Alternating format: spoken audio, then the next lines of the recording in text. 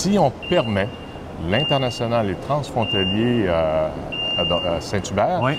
essentiellement, on revient encore dans la même dynamique de déshabiller Jacques pour habiller Jean.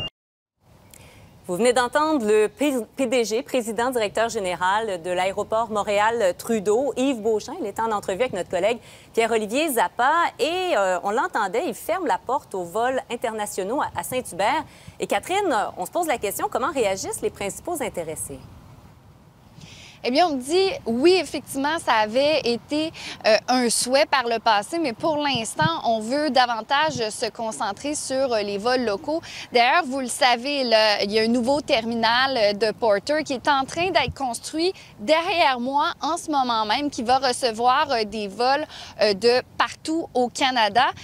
Ce qu'on me disait toutefois, c'est qu'on aimerait avoir une meilleure coordination avec Montréal-Trudeau parce que on dit ici à Saint-Hubert, on a l'espace pour pouvoir accueillir peut-être davantage de vols de partout au Canada et ça pourrait permettre euh, de libérer de la capacité à Montréal-Trudeau qui, vous le savez, là, reçoit énormément de vols. Je vous invite à écouter le porte-parole.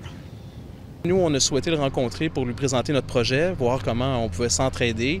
Euh, Jusqu'à maintenant, on est toujours en attente de, son bureau pour fixer une date de rencontre. Mais bon, on a bon espoir qu'on peut trouver un- une façon de travailler ensemble adéquatement dans l'intérêt des citoyens.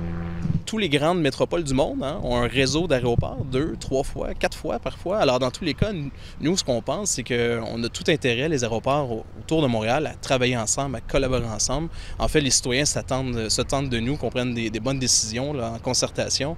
Euh, Tout le monde serait gagnant. Et d'ailleurs, ce fameux projet de Porter, je vais vous le montrer là, parce que ça a déjà beaucoup avancé en ce moment.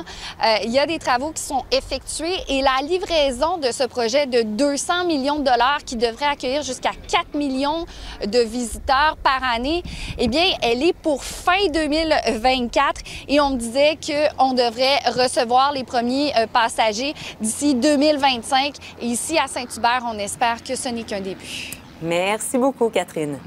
Au revoir. Au revoir.